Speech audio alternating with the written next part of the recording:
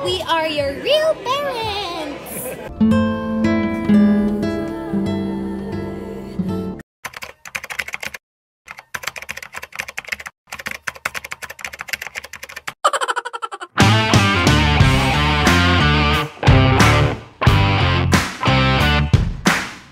Sa puso't isipan ng isang babae, laging nananatili ang matinding pagnanasa na magkaroon ng sariling anak. Ang pagnanais na ito ay isang malalim na tibok ng damdamin na nagmumula sa kakaibang pagmamahal at pangarap na may bahagi ang buhay sa isang bagong buhay. Sa birthday nga ng kanilang pamangkin na babae sa side ni Mikey ay napasabi si Alex kay Laylay na we are your parents.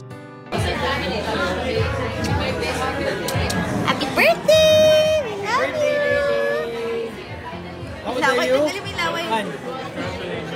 Laway, Mike. Yan. Hailey! We are your real parents! Hailey!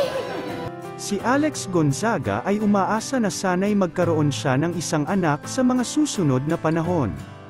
Sa pag-uwi nga nila ni Konsehal Mikey Morada sa kanilang tahanan ay naramdaman niya ang pagnanasa na maging isang ina ay patuloy na umaapaw. At umaasa siya na isang araw ay magiging bahagi na siya ng magandang mundo ng pagiging magulang.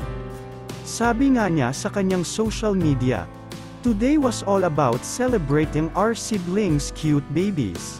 It just hit me when we were watching TV together before we sleep. Always have faith. Dagdag pa ni Alex. Coming home from our niece's first birthday and visiting Ate's new baby.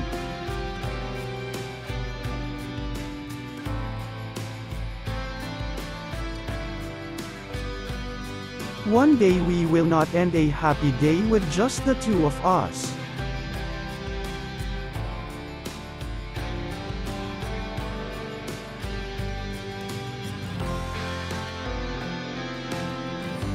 It's gonna be the three of us.